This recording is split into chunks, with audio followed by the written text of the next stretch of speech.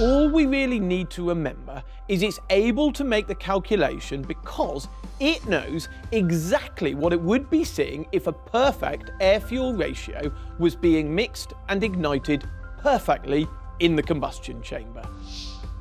This screenshot shows the gas values of an engine with a misfire. The injector is injecting, but the spark plug isn't igniting the mixture. Because of this, there are very high levels of HCs and very high levels of O2. Be aware, these datasheets don't necessarily provide the full picture.